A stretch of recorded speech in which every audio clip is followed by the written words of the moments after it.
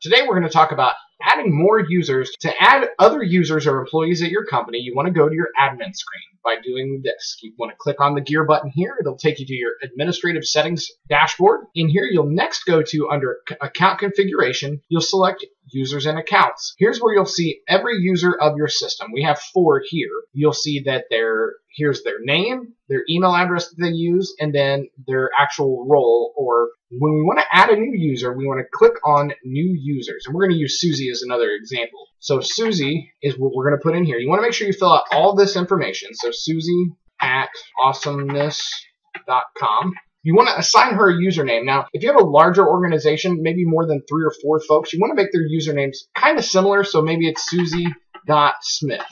For now, you want to make her password something like password or 1234 or something, you know, maybe your company name. That way, you can send out an email to your entire company database that says, I've set us up in our new CRM. Your username is first name dot last name capital and your password is password. And then you may even go on to further to say, log in and go to your administrative panel and change your password to something that you'll remember that's a little more safer than just regular old password. Now you want to define the user role. You have administrators who can see everything in the database, also make administrative changes, changing drop-downs, field labels, etc. You have super users who can see everything but can't make any administrative changes. And then you have your regular users who can only see their data. So we're going to make Susie Smith a regular user in the system. And it'll pop up here. But once you've created this user, you also want to assign additional emails for Addie to recognize. Again, Addie is your virtual assistant. So Susie not only uses Susie at awesome.com, but she also uses Susie at gmail.com. You want to make sure that you also include any other email addresses that Susie uses associated with your business so that Addie can capture that email history and put it into your account under the appropriate contact. So now that Susie is a user, I can go through and start assigning her uh, assigning her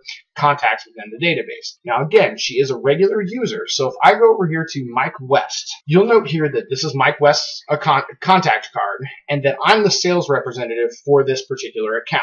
Now, here's where I have the different users or people in my company or employees that are assigned to this particular contact. I'm currently the only one. Now, everybody else but Susie, because they're administrators, can see this account. Now, if I want to give Susie access to this account, like she's our customer service rep, I want to click on the box that says customer service, and I want to select Susie Smith. Now, Susie can actually view this account as well.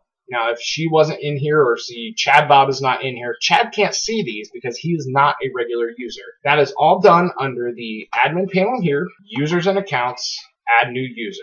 So there you have it. That's the simple way to add new users into your CRM.